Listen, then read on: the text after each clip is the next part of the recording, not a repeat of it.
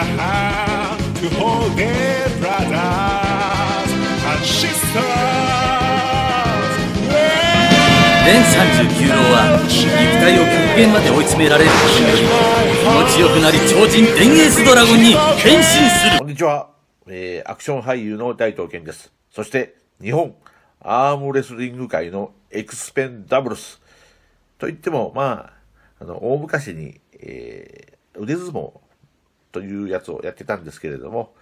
まあ、今日はですね、えー昭和風のレトロな腕相撲、まあ、アームレスリングのトレーニング方法を皆さんに授けたいと思います。これ、もう30年前のアームレスリングの台、えー田崎製作所から、えー発売されたのかな、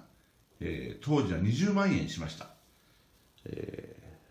買いましたよ。腕相撲好きだったんで。そして私がやってた頃は、まあ、ちょうどこんな、えーアームレスリングの台所ですね。で、まあちょっとは腕相撲の、えーアームレスリングの世界からちょっと私は退いて、えーアクション俳優への修行へとね、えー頑張りました。またね、こういう、えーマシン使ったトレーニング方法とかもね、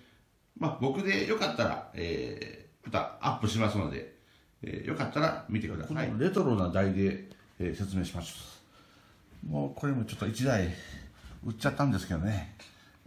台の端に手を持ってきて、なるべくスタートはこんな感じにします。それからこっから徐々に上に上げてきて、なるべく下まで下げる。そしてまた上に上げてきて、なるべく下に下げる。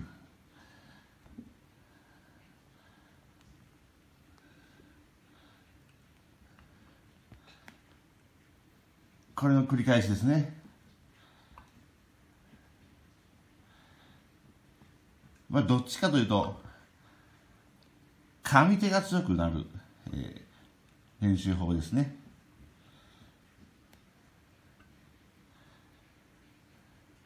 まあ、腕を、腕を太く見せる場合は低回数で、まあ、アームレスリングとかだったら回数が多い方がいいのかな一発勝負の腕相撲だったら、まあ、低回数の方がいいと思います。皆さんもちょっとね、えー興味がある方は、やってみてください。どうでした？えーまた、昭和風のトレーニング方法や、レトロなトレーニング方法、マニアックなトレーニング方法や、マシントレーニングもアップしていきたいと思います。トイ